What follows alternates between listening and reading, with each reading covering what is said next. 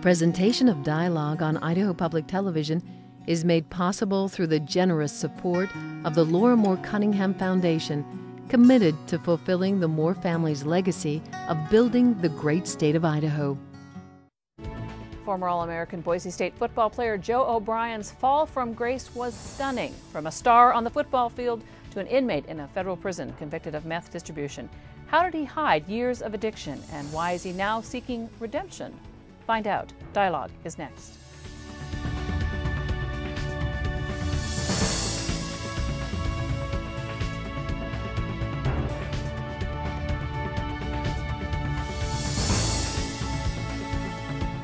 Hello, I'm Joan Cartan Hansen. Thank you for joining us here on Idaho Public Television, on the World Wide Web, and on public radio stations. Joe O'Brien was a hero, a standout high school football player and high school sophomore class president. Western Football Conference Defensive Lineman of his, his year at Santa Clara University, and an All American and Big Sky Conference Defensive Player of the Year for Boise State University. It seemed like he had nowhere to go but up. But after a try at the NFL failed, O'Brien turned to coaching, first at Northern University, Arizona University, and then eventually became assistant head coach at Montana State University. Again, it seemed like he was on his way to success. But in 2003, O'Brien's world collapsed when he was arrested for his part in a methamphetamine drug distribution ring. He served 28 months in a federal prison, getting clean and coming to grips with what he called the lie. In the book Busted Bronco From Addiction to Redemption, O'Brien tells a cautionary tale of how of years of drug abuse robbed him of the football career he loved. Joe O'Brien joins me now. Joe, thank you for being here. I appreciate you being on the show. Thank you for having me. I appreciate it. Also, we're being joined by Joe's co-author, Bob Evancho. If Bob looks familiar, he's been on Dialogue before as the author of a biography of Gene Harris, among other things. He's also a colleague of mine here at Idaho Public Television. It's nice to throw you in front of the camera instead of being behind the scenes. Good to be here, Joan. Thanks. And of course, we want to hear from you. Join the conversation. Give us a call at 1 800 973 9800. It, it must be tough talking about such a, a tough life, a tough addiction, telling the story over and over again. Why did you decide to write a book about it? Well, I think I, I think I wrote it for a couple of reasons. I think number one, I had to get get it all out. I think for so long, for 15 to 16 years, I, I held it in so much and you know, I was living that lie, and and um, just the guilt that that had built up, you know, was just I think it was killing me.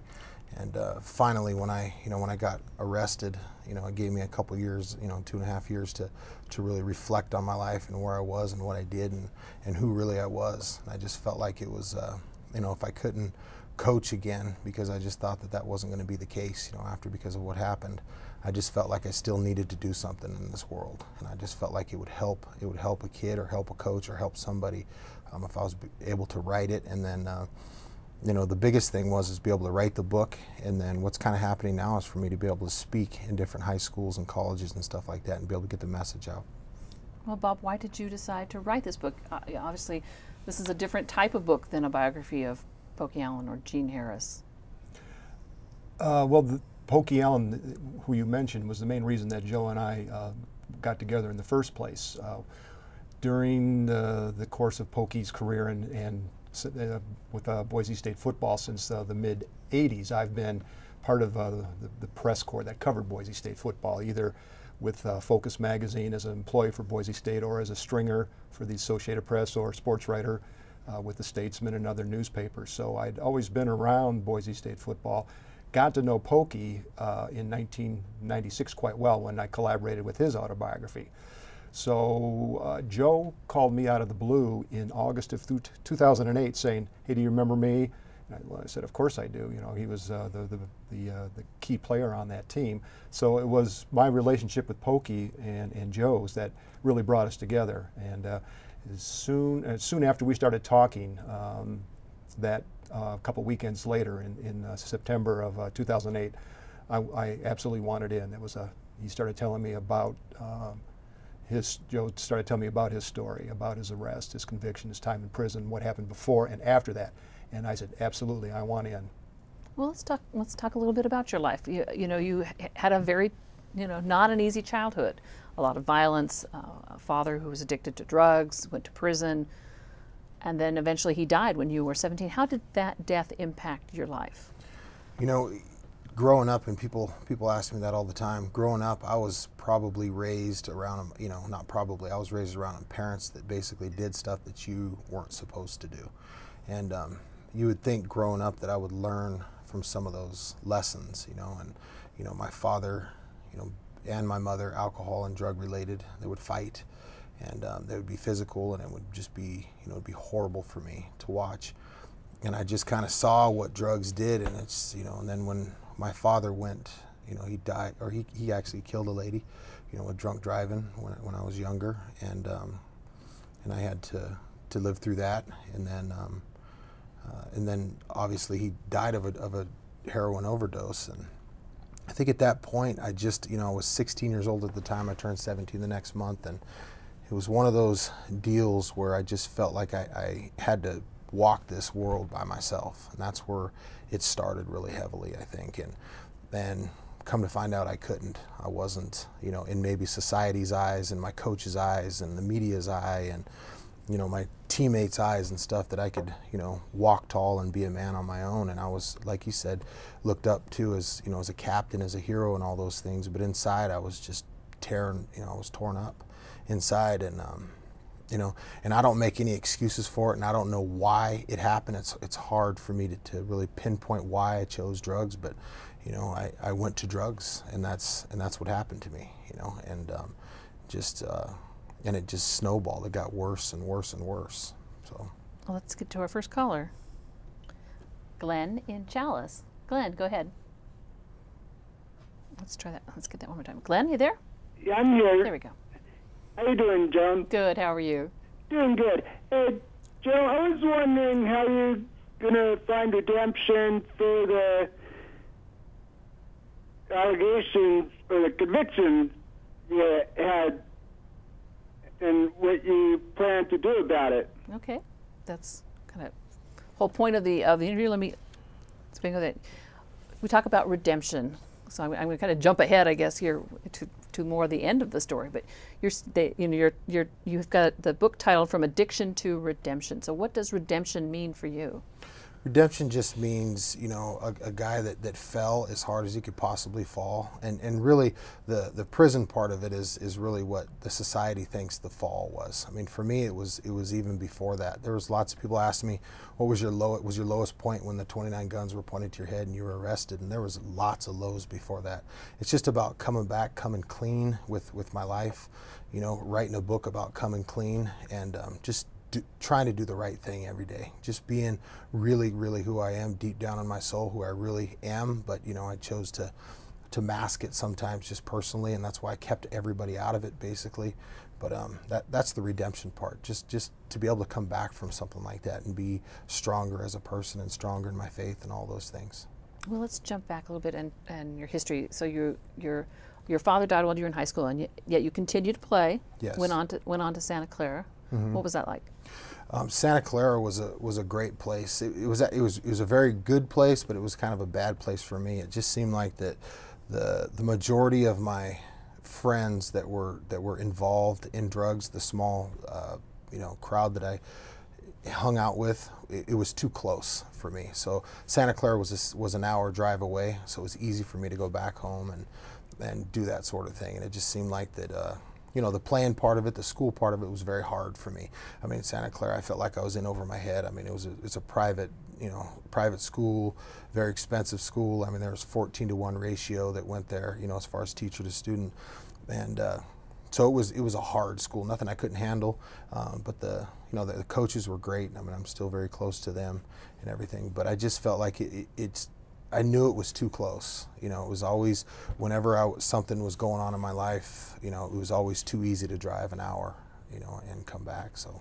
And then their, their football program ended, and you came to BSU. Yeah, I uh, actually the I, I used to still help out with the with the high school program in uh, in Pittsburg where I grew up, and uh, so I knew the Pittsburg, coaches. California. Pittsburg, California where I grew up, and Joey Aliotti, he won the national championship here in 1980, and he was actually my high school coach. So he, the summer before actually the program dropped, I had no intentions of, of coming to Boise at all, but they, he came up here for the football camp. He'd bring the, the whole, you know, the whole team up.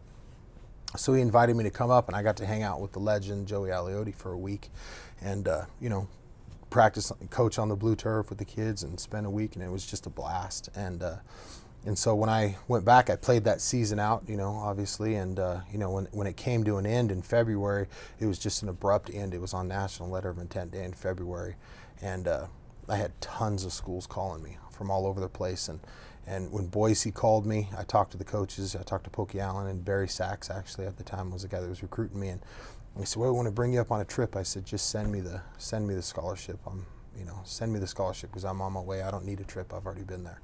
That's how that happened. Joe, can you put his career in put, put, put Bob put Joe's career in perspective? How how good a football player is Joe? Well, was Joe? Uh, he was a consensus All-American. You get uh, players who make an All-American team here, second team there, honorable mention there. I think uh, Joe and Ryan Clady. There are probably a few others, but were you know what is called a consensus All-American, where you're you're named to two or three first uh, All-America teams. Uh, and Joe was one one of the few who really is a bona fide consensus All-American. Uh, you know, his record speaks for itself. He was the he earned those honors. He led, helped lead Boise State to the 1AA national championship game, and uh, was the Big Sky Defensive Player of the Year. But it wasn't just his uh, his ability as a player; it was also his his charisma and uh, his leadership skills. And I viewed those uh, firsthand back in '94, and so I knew about uh, you know his the, the aura that he had and the, the skills that he had to, you know, he took a lot of the, the team, um, him and some other uh, of the seniors that literally, you know, led that team to, uh, to, um, to its first Big Sky Championship in, in, several years, beating Idaho for the first time in 12 years, winning three extremely exciting uh, playoff games and making it to the national championship game. But the one thing I would add is that we talked, you know, I just mentioned these things, but when we started on this book, we both decided this is not about Joe as a football player. Uh, one of the criticisms of the Pokey Allen book is that uh, we went into too much detail about games and and uh, and certain players and that. And Joe and I agreed. You know, there's probably two, maybe three pages for that really talk about games and and uh, what goes on in the gridiron. It really wasn't that. It was about Joe's struggles with substance abuse and his recovery and all the things that happened to him. You know, football is just a, a, a backdrop to uh, what I think is a, was a very compelling story. Let's get to our next phone caller. Let's see. Um, let's go to uh, Mike in Boise. Mike. Hi. Um, interesting story. I just had a quick question for you. Um, I think it's you know really nice that uh, he's turned his right life around, but uh, you know you pick up the paper every day and you'll see different players on both the collegiate and NFL level getting busted for drugs or busted for this and busted for that. So um, it seems like it's a never-ending problem that's never going away, and uh, it seems like what we really see is just the tip of the iceberg about how much of this goes on within athletics around the country, and if there ever really is an answer, you know, to dealing with this, it just seems to grow and grow with with no real answer about how to stop it. Thank you for your comment. I appreciate that. I don't know. In the, in your world, in that football, was was are drugs just the tip of the iceberg in the football? I think there's there's a big reason why this book is written. I mean, I wouldn't write it. I mean, to think that this was a story that oh, it's so you know compelling in that. Um, is it unique? It's so it, unique, but it's not. It's not unique and it's not just unique in athletics. I mean, that was the whole thing about it. There's people that live with demons in their closet all the time, and it's just until you until you get those out, you know, you're never going to change. You know, and sometimes, you know, I was told by my drug treatment special, specialist in uh, in prison, you don't change because you feel the heat, or excuse me, you don't change because you see the light. You change because you feel the heat. And that statement really bothered me you know and that's what that's what kind of got me to write this book because there's people out there lots of people this is just my story. This is my story with drugs but there's people with uh, all sorts of other stories that have struggles within themselves and that's kind of why i wrote the book. Well if if the statistics are right one in ten people have a problem with chemical dependency in america. So if 10% of the population even if 10% of athletes as a general representation of the population have a problem with alcohol or drugs that's and they're they're sad cases. They're in the public spotlight. So mm-hmm. if they do something wrong, it's plastered all over the front page of the paper. I guess, and to, to go on more on that comment, I mean, if it's if there's if he was stating that why, I mean, basically, why are we, why are why am I doing this? Then I mean, if if everybody says that, then we wouldn't be able to change anybody. I mean, I speak in front of kid. I spoke in front of 380 kids last week, and I spoke in front of 250 kids, and I got 15 emails and two people that I met personally, and there's some people that need to be talked to. So if just one of those people, and I know it's a cliche, but it's a cliche that I'll go by. You know, if just one of those kids truly that talk to me want to make a change and a difference in their world, and then it's worth writing this book. Let's get this our next caller. Bill in Boise. Bill. Hi. Hi there. Go ahead. Yeah, I was wondering what would be your uh, advice to players that reach such a high level of, um, you know, won championships at the high school level and then played in college and won championships, but maybe didn't make it to the NFL, but reached such high success at a young age, and then they go out to the workforce and life just seems kind of boring after that. And so it makes them look for highs after those those experiences. Um, what would be your advice to to that? You know, reaching such a, a high level at a young age and then coming back off a high. Yeah. That that's a great question. In fact, um, excuse me, one of my former players um, had a, that exact problem and um, he's actually in a in a he's in a treatment program right now that I've actually been helping him with for the last couple months, and that was a major problem with him, and it's a major it would have been a major problem with me. I mean, to to me, if you're an athletics person, you need to stay around athletics, whether it's with your kids, whether if it's your nephews, if it's whoever, if it's in a coaching atmosphere, or you're, you're just you know. I think you need to stay around athletics if that's who you are. I mean, that's that's my personal opinion. It it is hard to get over the, the adrenaline rush that comes with playing big time sports, big time mm. college sports, big time high school sports, NFL. You played in the World League. There are other places around the world that you play. That was that high different than the high you got off of methamphetamine? Well, there's no question about it. I mean, my I mean, it sounds crazy, but I mean, my my passion for football had to do strictly with the physical part of it. I mean, the the actual, you know, what I got asked today. I was watching practice, and I said, "Well, they practice with pads on Thursdays." I used to hate Thursday practices because we never practiced with pads, you know, when I was playing, and now they're practicing with pads. And you know, I never liked practices without, um, you know, with, without pads on. It was always about hitting something with my face, and it sounds crazy, but that's really what it is. But yeah, that that's hard to replace. I mean, you know, when I got into coaching. Um, it took a couple years for me to figure out that you know what this is almost better because now I'm actually playing through the eyes of four players that I've coached, you know, a unit. So you you laughed. Was that something you uh, found in the book that this that that need need for for need for the Thursdays without pads? Well, I, I just know from you know spending time with Joe that, uh, the, like I said, his love of the game was pure, and uh, and I, I can having watched him play and, and you know um, just here, you know, when we talk and worked on the book, I, I know that uh, I just kind of chuckle when he talks about the fact that he'd prefer to have pads on, you know, uh, anytime at practice, hit somebody. you know, it's difficult for people who have not had an experience from someone who has an addiction or someone who, or may perhaps they themselves have had addiction, to understand that it's a disease, at least the addiction part, not the not the behaviors that lead to mm-hmm. or a result of the addiction, but the addiction itself is a disease and coming to grips with that. Have you struggled explaining that part?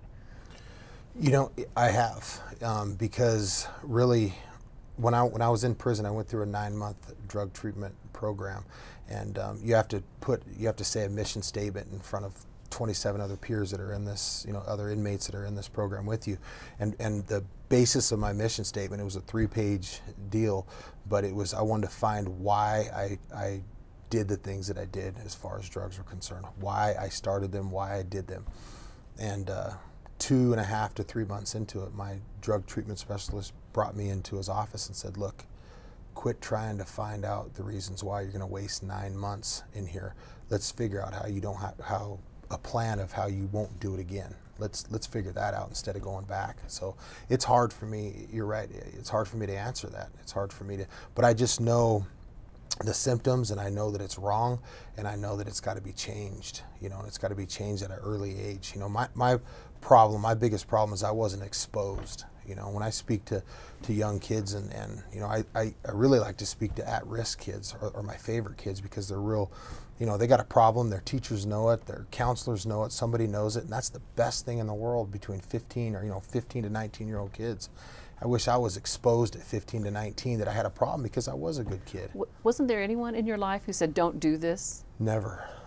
Never. But there's very, very few people that ever knew about it, you know, and um, it was, you know, and, and I, I mean, it's one of those deals where I wouldn't go to somebody who would tell me no. You know what I mean? It was one of those situations. So, um, well, it was hard. You did an amazing job compartmentalizing your life between when you when in the drug the world where the drugs were a part of it and the world the fate the, the the rest of the saw the the football hero the mm-hmm. the coach the.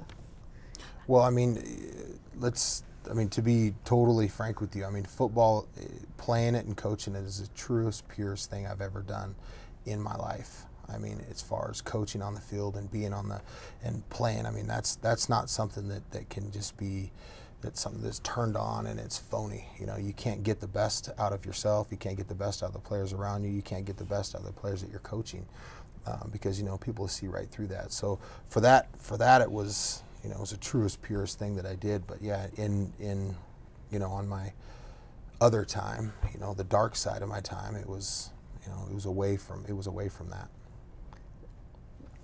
Bob, what was the reaction when he when when Joe was arrested in Bozeman, the, defensive coach for the football? What what happened? Well, I only know from Joe's story. Uh, because I was in Boise when it yeah. happened in 2003, and I, like everybody else, read a short article about it in the Statesman.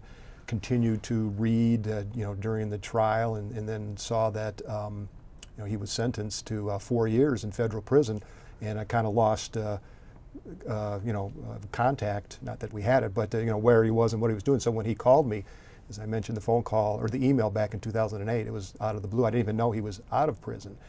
Uh, but I can tell you the reaction, you know, from from you know what research you did, talking yeah. to the research the people I talked to, and it was um, it was uh, people were shocked. you know, a couple people that we did, you know, this truly is Joe's memoirs, but I thought we thought it was important to sprinkle in a, a, a few people to get their perspectives. People who were close to Joe, Brian Smith um, uh, some other teammates, and one of those was Pete Kwiatkowski, who is uh, you know the defensive coordinator at Boise State now. Uh, Pete was Joe's boss at the time, and he uh, gave me a lot of uh, insight and and uh, reaction to. Kind of speaking on behalf of the Montana State coaching staff at the time, and he said, you know, it was it was it was disappointment, it was anger, but mostly, and, and there's a word that that Pete used was a betrayal and that's a pretty strong word to use for you know a friend. So you know the reaction was strong, and there's uh, points in the book where we talk about still the backlash that occurred in Bozeman when Joe returned. Um, the, that episode with the snowballs when he uh, was uh, at, at, the at the game. Why don't you tell us about that? Well, I went to a game um, a couple years ago against Sac Sac State, and uh, actually one of the coaches for Sac State I coached at Montana State. He was actually a graduate assistant coach there, so I went to go support him. And um, so I was actually on the sideline of Sacramento State, and there was, um, you know, there was some profanities yelled out, yelled out at me, and there were snowballs thrown at me, and you know. Even this is years later. Oh yeah, years after, yeah. Do you understand their anger? I do, I do understand it, and I don't. Uh, it's hard. Don't get me wrong. I'm a human being. Nobody likes to, you know, to deal with that. But I, but I do understand it. I do understand that you know 80% of the people still don't forgive me, and I understand that too. And I'm not writing the book for them to forgive me. That's for sure. Well, that's um, good. That was that was the question. Is this a book asking for forgiveness? Absolutely not. No, I don't. I don't make any excuses for my actions, and, and you can judge me the way that you want to judge me. I mean, it, it's hurtful. Of course, it's hurtful. You know, I, I don't want now if it was something where you know, and my wife now she's pregnant, and, and I'm walking my kid down the down in a in a store and I get a comment in the store, it's probably going to be a little bit different because you're involving my child or you know right. something like that. But you know, I, I got big shoulders. I think I can take it, but I understand it. You know, and there's been some people. I remember when I spoke at uh, Carroll College, one of the coaches there, Coach Hogan. It was the very first place that I spoke. And uh, Coach Hogan pulled me aside and he says, Joe, I just want you to know it was right before I went out to give the speech, which was tough, tough timing for me. He goes, Hey, I just want you to know that, you know, what you did, you know, I, I, haven't forgiven you for it yet. And I understand that, you know, but I, I, went to a Hall of Fame dinner for Mike Van Diest, who is the head coach at Carroll College, and he's still there, Coach Hogan, and, and this is five years later now. And uh, he finally came up to me and said, Hey, Joe, I, I've forgiven you five years later. So sometimes it takes five years, sometimes it's going to take a lifetime. Some people are never going to forgive me. You know, I get looks. I, I work in Bozeman. I do contracting. I'm a, you know, I own a construction company, and so I do some work in Bozeman, and so I'm down there maybe for a month a year, basically just off and on, and you know, and so I go into the restaurants that I used to go to, and uh, the old Coach Heisel that that Pokey Allen knew very well. He's a very very dear friend of mine, almost like a father to me. He's got Parkinson's disease, so I, when I go there, I take him places and stuff that he likes to go and I get the same looks from the from the older alumni and stuff like that, and you know some of the snubs that I used to, and um, it's just it is what it is. Th this book isn't about any of that. This book is about helping the next person along, or somebody to maybe think about some of these things that's happening yeah. to them. Quite often, someone who is in recovery makes mm -hmm. that mm-hmm. step to tell their, their story. In fact, that's that's very much a part of, mm -hmm. of recovery is talking about your story and, and admitting admitting the faults. Is that the genesis of this book? Some, I mean, somebody said to me a long time ago, just keep repeating it if you don't get it out. You know, you'll just keep repeating your past and how you grew up and the things that you've done and the things that you've done be, before if you don't just get it out in some way. You know, my form was in the form of writing a book. You know, and I and I had a great person that that was that was willing and able, and, and it was always in the back of my mind. Um, you know, Bob, I mean, he, he didn't know it, but he was always in the back of my mind because I just thought that when Pokey wrote that book, I just felt like, wow, you know, there's, you know, even way back when he wrote it, before I had this problem, before, or before I got arrested, I just felt like there was, there was going to be a time in my life where I wanted to write it and get it out. So, at the, at the point of your arrest, could you explain how the meth uh, distribution ring was working? You weren't actually you know, in the corner selling drugs to no, students? No. I never sold drugs to anybody. If anything, I was a user of it. I mean, I made a, I made a couple phone calls to, uh, you know, conspiracy is basically you get charged with, and again, I'm not making any excuses. I was guilty of, of having a part in it at all, and um, but basically, I made a, uh, some phone calls that hooked uh, another person up, and um, and then the transactions were made between them, and uh, you know there was selling involved. Obviously, I'm not well, not, I guess not obviously because anybody could, but I'm not selling drugs personally. And um, and then you know. I, I, you know, they're telling, they're giving me the signal that we have run out of time, and I, I don't want to end on okay. that. But what we're going to do is uh, go on into our web extra. We'll talk a little bit more about the extra. We've got a phone call. We'll take the phone callers. So for now, let me say thank you. You're, it, is, it is an it is an inspirational story. Though. Thank you. And thank I appreciate I appreciate you both coming on. I appreciate Bob. Appreciate you, you being here. And we do have more information. Check it out at the Dialogue website. We'll, as I said, we'll continue the discussion in our web extra. Find it all at idahoptv.org. Just click on Dialogue, become a friend on Facebook, or follow us on Twitter. Thanks for tuning in, and join us next time for Dialogue.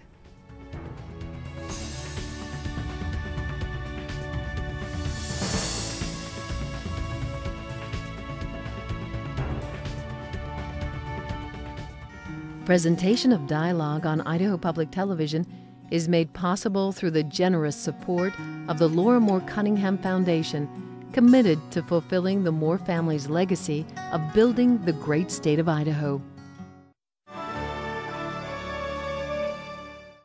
Check out our website, like us on Facebook, or follow us on Twitter.